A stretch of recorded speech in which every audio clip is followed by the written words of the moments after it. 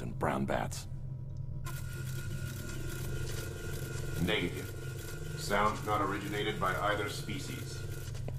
I would say, sir, that we have ourselves an incongruity. Incongruity, Alfred? He's lying. And I'm gonna find out why.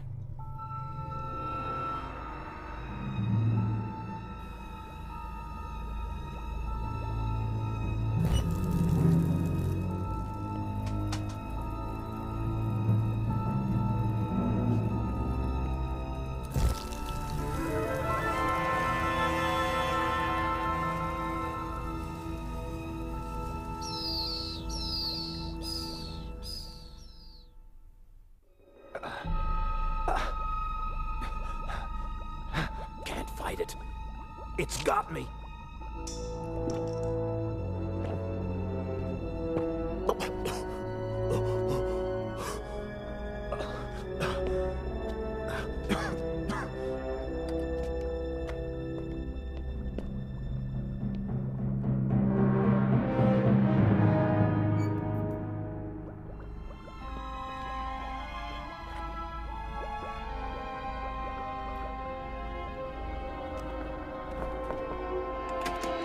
Who's back there? You.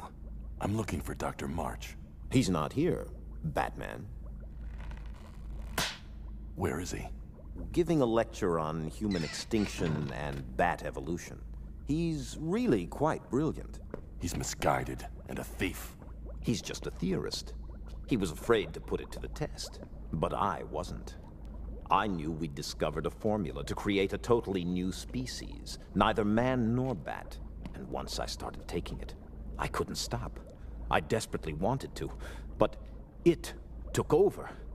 Francine and March tried to protect me, but it was too late. The beast knew what chemicals were needed to bring itself about. It was out of my control, and it only needs one more component to complete the process. It's in me, Batman.